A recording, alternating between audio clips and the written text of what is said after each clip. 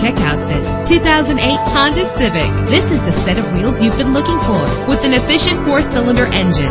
The powertrain includes front-wheel drive that responds smoothly to its five-speed automatic transmission. Brake safely with the anti-lock braking system. Let the outside in with a built-in sunroof.